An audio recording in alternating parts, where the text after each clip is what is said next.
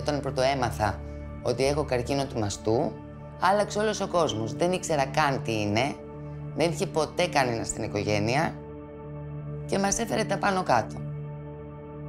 Το 2005 χειρουργήθηκα από καρκίνο του μαστού και έκανα μαστεκτομή.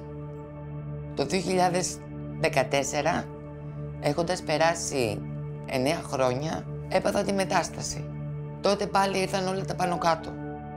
Νόμιζα ότι ήρθε το τέλος. Τελικά όμως η επιστήμη έχει προχωρήσει πάρα πολύ. Υπάρχουν πάρα πολλά φάρμακα που συντηρείς και ζεις μαζί του.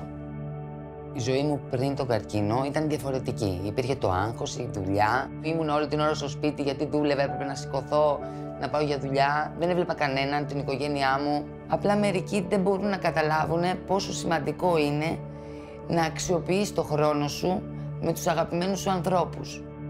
Δεν στεναχωριέμαι πλέον ούτε για οικονομικά θέματα, ούτε για τίποτα άλλο. Το μόνο που με ενδιαφέρει είναι να είναι καλά η οικογένειά μου, εγώ, να τους δίνω δύναμη και να μου δίνουν και αυτοί. Η καθημερινότητά μου έχει αλλάξει, αλλά άλλαξε και ο τρόπος που βλέπω πλέον τη ζωή μου.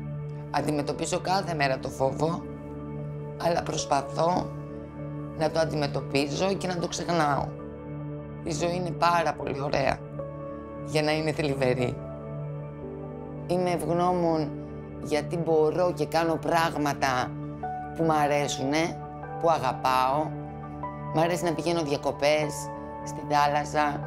Μ' αρέσει να πηγαίνω εκδρομές. Μ' αρέσει να πηγαίνω στο μπάσκετ, να βλέπω την κόρη μου να παίζει. Εκεί γίνομαι λίγο φανατική. Η ζωή είναι μία και μοναδική.